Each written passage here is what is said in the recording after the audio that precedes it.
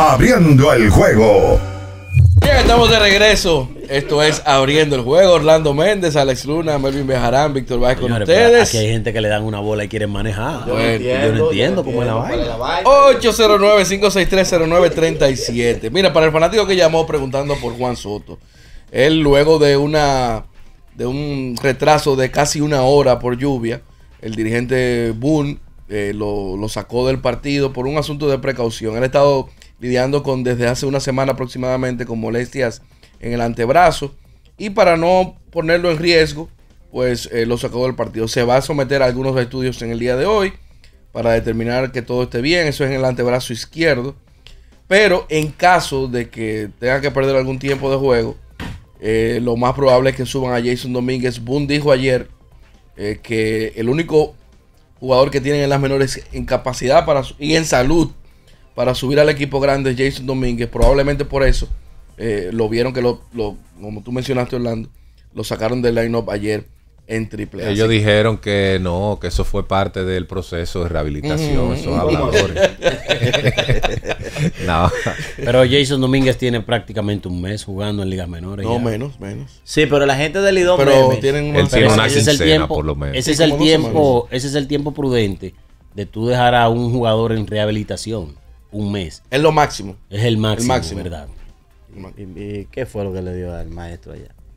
No, pero siga, siga su Él trabajo. tiene, él tiene 17 juegos jugando las menores. Ahora mismo Jason Domínguez en esa rehabilitación. Y no lo O van sea, a apresurar, Él está listo hace rato. Él está listo, pero que no lo van a apresurar porque no tienen la necesidad. Y le ha ido bien, OPS 978, lo ha sacado cuatro veces y se ha paseado por las tres categorías de los Yankees. Ahora mismo está en AAA. Sí, pero se pasaron la gente del Lidón Memes. Ajá, ¿qué hicieron? Eh, de que, que no importa que Soto esté lastimado de que eh, ma- eh, sienta molestia en el brazo de que por qué él no lo usa ese brazo. no me van a hacer eso, yo le respeto a un jugador del No, nivel de no, importancia. Juan Soto. Mira, tú sabes que hubo un dato que vi ayer, eh, mirando el highlight del juego, y me gustaría compartirlo con ustedes porque uno habla del éxito de los Yankees, uno habla del picheo, habla de la ofensiva. Pero hay un detalle que tiene ese equipo de los Yankees, esta versión, que me llamó la atención poderosamente ayer. Señores, qué buen trabajo le está haciendo Anthony Volpe en el short. George ha sido un muy buen jugador en el jardín central. Ayer Wilson hizo un gran trabajo incluso en la ofensiva. Y esa línea central de los Yankees es muy diferente a la que ellos habían tenido anteriormente, porque cuando tu línea central te hace el trabajo defensivo, lo primero es que sin línea central es difícil ir al playoff y ser campeón. Eso usted busca la historia y un equipo sin línea central muy difícilmente logre el éxito total en, en las grandes ligas. Pero mejor aún, cuando esos componentes de posiciones tan importantes también están aportando en términos ofensivos, eso es una bendición para cualquier equipo. Y es ahora mismo el tema de análisis en Estados Unidos. ¿Qué es lo que está pasando? ¿Qué es lo que están haciendo bien estos Yankees? Que de repente se ven como un equipo invencible. A propósito de que este fin de semana van a recibir a los Dodgers. Va a haber un, ahí un, un matchup. De pesos pesados. Y más adelante le vamos a preguntar a la gente qué opine. ¿Quién cree que va a ganar esa serie de tres juegos el fin de semana? Si creen que la van a ganar los Dodgers, que van a calmar a los Yankees, o si piensa usted que los Yankees le van a dar pau pau a los Dodgers. Mira, esa línea central que tú destacas, es importante que, que lo menciones. Ellos no han tenido actuaciones excesivamente destacadas a la defensa, pero su guard defensivo es positivo. Y yo creo que eso es importante porque estamos hablando de que los Yankees eh, han probado con varios elementos. En un momento probaron con Didi Gregorius, que defensivamente era superior a Derek Jeter incluso. Eh, luego probaron con Asaya Kainer Falefa, a quien tuvo- tuvieron que mudarlo a la tercera base. Lo llevaron a la segunda, luego lo cambiaron, lo dejaron ir a, a Toronto. Creo que con Gleyber hicieron algunas pruebas. Gleyber también. Torres jugó eh, en el shortstop, jugó Gleyber Torres, pero eh, ese proyecto de Gleyber Torres defensivamente no funcionó y ahí fueron, fue donde llegaron los problemas eh, ofensivos de Gleyber Torres que finalmente tuvieron que dejarlo fijo en la segunda base. Pero Treviño, Volpi y George en la receptoría, shortstop y jardín central respectivamente, no, da- no arrojan negativo en términos de victoria sobre jugador reemplazo acumulada. Volpi es eh, un defensor premium. Correcto. eso es lo primero. Eh, y a mí me gustó mucho el manejo que ellos le dieron desde el año pasado. Él apenas batió por encima de 200, un OVP por debajo de 300. Esos números fueron horribles, pero su defensa fue premium, guante de oro y tuvo un 20-20, o sea, dio 21 cuadrangulares y 24 bases robadas. Y a él le dijeron, oye, olvídate, esta posición es tuya. Le dieron esa confianza, madura, eh, tú vas a crecer este año y los frutos están viendo este año. Ya su OVP de esta temporada está más o menos en lo que él eh, puso en las ligas menores. Tiene un porcentaje de bateo bastante bueno en 2.88. Y va de camino a tener una temporada, posiblemente otro 2020. Ya tiene 12 robos y, y 6 cuadrangulares. O sea que esa defensa premium y, uno, y una ofensiva por encima, muy por encima de lo que vimos el año pasado, le, le está dando los resultados a, Mira, a- a los y Yankees. el OPS de él está a 130 puntos por encima de lo que él hizo el año pasado. O sea que el progreso es evidente, incluso en el tema de bases robadas. Él está proyectando más de las 24 que se robó el año pasado. O sea, él está creciendo como bateador.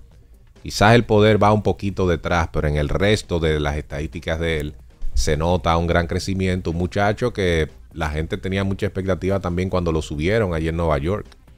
Eh, Austin Wells, el otro, el catcher que ellos están utilizando, él no ha sido esa, eh, ese fenómeno ofensivo ni nada por el estilo.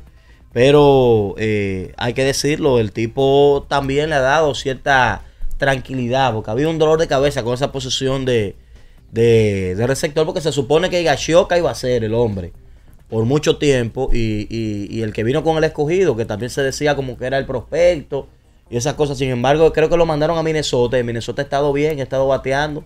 No hizo nada aquí en la pelota dominicana. No pudo prender con los Yankees y después que salió del equipo ha estado luciendo eh, un poquito mejor. Robert me parece que se llamaba. Ben eh, que vino Ben aquí con los Leones y todo eso. O sea, que ese proyecto no, no prendió. Y Gachoca tampoco. Y ellos, con Treviño y este joven Austin Wells, Y Ashoka llegó para Eh, sacar a Gary Sánchez de esa organización, eh, nada más. ha- han resuelto ese problema de la salieron de. Yo no sé si en, en- en- am- en la, en las negociaciones de mediados de temporada ahora, ellos irán a buscar una pieza en ese sentido, eh, alguna pieza de la receptoría, que todos han funcionado, porque esa sería una gran pregunta y quizás más difícil de analizarlo. Ellos están bien, pero en esta en este buen momento que ellos están viviendo, ¿qué sería lo que habría que buscar en, en la agencia ahora en, en- Mercado en el de tema de los cambios? Para, Mira. para ya dar el giro y ser los championables que todo el mundo espera que ellos sean. Olvidé mencionar a Austin Wells en la, en la ecuación. Ellos se han estado alternando Exacto. porque parece que, que hay algunos elementos de la rotación que prefieren a Wells y hay otros que prefieren a Treviño, que es un veterano. Y es mitad y mitad. Cada uno tiene 37 Sí, juegos. tienen 37 partidos los dos. Eh, por eso hago la mención, porque regularmente eso se ve en las rotaciones. Hay lanzadores que se sienten más cómodos con determinado receptor y que no se sienten cómodos, porque ahí está el caso de increíblemente Greg Maddux y Javi López, que es una mutual que no nunca, nunca cuajó en, en el béisbol de grandes ligas.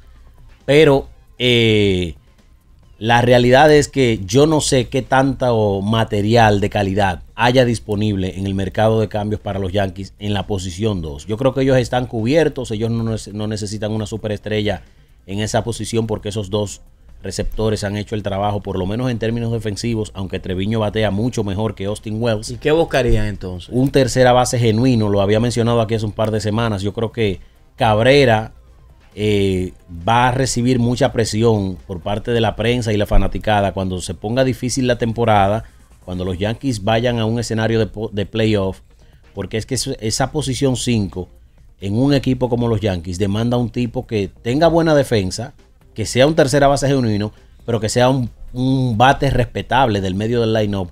Y esas características no las tiene Osvaldo Cabrera. Cabrera es un shortstop que puede jugar, desempeñarse eh, de manera adecuada en la posición 5, pero no es un tercera base genuino. Ahora tiene que ser un come hombre para tú ponerlo en el medio de esa alineación, porque con Soto, George y Stanton como están, ese medio de la alineación está cubierto. Tenchi había hablado de Nolan Arenado. Yo tengo mis reservas con ese, con ese jugador. Yo había hablado de un perfil de un tercera base que tenga la capacidad de batear a la zurda para fortalecer un poquito más el bateo de ese lado del plato, pero la realidad es que buscando son pocos los candidatos que están que baten a la zurda con poder, que sean un bate de respeto y que jueguen en la tercera base. Un, un vendedor claro serían los Mets, pero ellos no tienen ahí un tercera base, porque no creo que vayan a cambiar a Mark Vientos. No, y, y no exactamente, no tienen un, no tienen el, el material para ofrecer en ese sentido al equipo de los Yankees de Nueva York. Y picheo, la rotación está buena para ser campeones mundiales. Con Sí, eso que tienen. sólida. eh, bueno, con la llegada de. de- Bueno, mientras Luis Gil siga tirando así y Garrett Cole regrese como el Garrett Cole que todos conocemos, eso yo creo que no hay ningún tipo de duda porque Carlos el resto el resto puede encargarse de lo que queda de la rotación. Y mira, y lo de Arenado, yo ahora mismo, ahora, hoy, yo lo descarto, porque es que los Cardenales están a medio juego del último wild card. Ellos Mira. están jugando por debajo de 500, pero han mejorado. El mejor nombre para la tercera base que pudiera estar disponible eh, en la fecha límite de cambios es nada más y nada menos para mí que Vladimir Guerrero Jr. que le está Ay, jugando ahora. Melvin, qué nombre. Él le está jugando ahora Y la va a seguir jugando, dijeron. y parece que la va a seguir jugando eh, en algunas ocasiones. Ese es el principal candidato y, y cumple con todas las expectativas que ustedes están mencionando. Díganme otro. Menos entonces. una, ¿Cuál? él no quiere jugar Él allá. quiere jugar ahí. Él no quiere jugar ahí, pero eh, el lío es que Toronto se lo cambia a los Yankees por ser un rival de división, ¿verdad? Pero de los tercera base, los tipos que pueden jugar en la tercera base, con Toronto así y Toronto negado a darle una extensión a Vladimir Guerrero Jr., ese es el principal candidato de la eso tercera pase base. Y la prensa eh, abordando a Vladimir Guerrero Jr. Bueno, todo es un negocio, tú sabes que uno no controla eso, eso es. No, cambiando la narrativa. Yo estoy buscando otra tercera base. Bueno, No, es que no eh, hay, no hay. Matt Chapman de los Gigantes de San Francisco puede Eh, ser un nombre también. Digo, hay que ver El si tema es que los gigantes, los gigantes, yo no creo que aunque, aunque no estén en competencia, se vayan a convertir en vendedores, sobre todo un jugador como ese. Por cierto, señores, En los Media Blanca no hay nadie. Ah, bueno, que está No, no, Moncada. no. Qué desastre, señores, los dos clientes principales en términos de picheo de Scott Boras en la agencia libre pasada. Bueno, Jordan Montgomery ayer le dieron, bueno, le hicieron siete carreras, seis carreras en dos entradas. Blake Snell tiene la efectividad casi en 10 y está en lista de lesionados. Snell firmó un contrato de dos años y 62 millones de dólares. Y esos dos lanzadores han sido un desastre. O sea que eh, no se pudo salir con la suya en, el off-season pasado. y si, volviendo atrás a tercera base, y si Bobichet lo mueven para tercera de Toronto. Porque obviamente no necesitan un campo corto. ¿Tú sabes Pero quién es me- otro nombre que se ha, que ha Es que ahí está jugando Calefa y lo, Hay- está, lo está haciendo bien. Hay dos Pero- nombres. Pero, pero no, estoy hablando de, de moverlo de Cincinnati, de, de- de Toronto, Toronto a Nueva Yankees.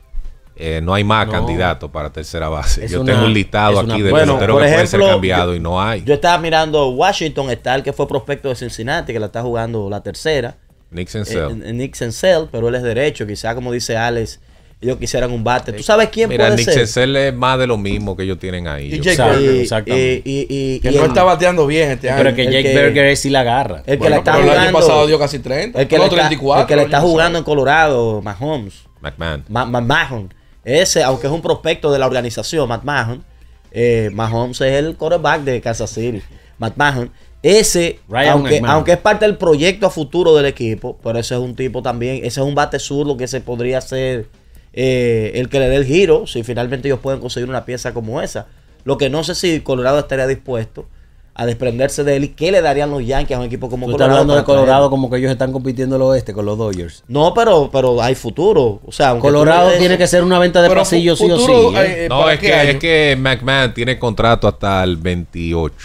O sea, en el 28 él es agente libre. O sea, Pero es muy caro. eh, No es tan caro, pero si Colorado lo tiene ahí a un precio, digamos, entre 12 y 16 Es millones difícil, de dólares, ellos no lo van a cambiar y de hecho él no ha sonado en ningún rumor. porque los piratas tienen al prospecto Hayes. eh, jugando tercera. No tiene contrato largo plazo. ¿no? Eh, es, es un poquito complicado, como que no Oye, hay el mucho. tipo es el Vladimir. Guerrero Jr.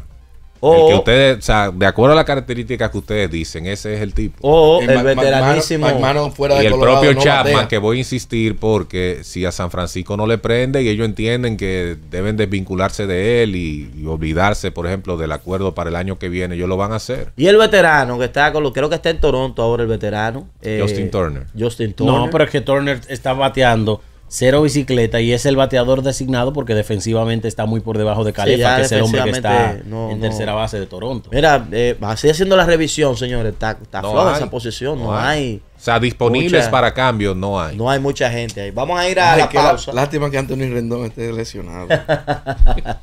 Mira que. Eh, es un programa serio. Mira, mira qué barbaridad. Es un programa serio. Vamos a la pausa, regresamos en breve. Estás escuchando Abriendo el juego.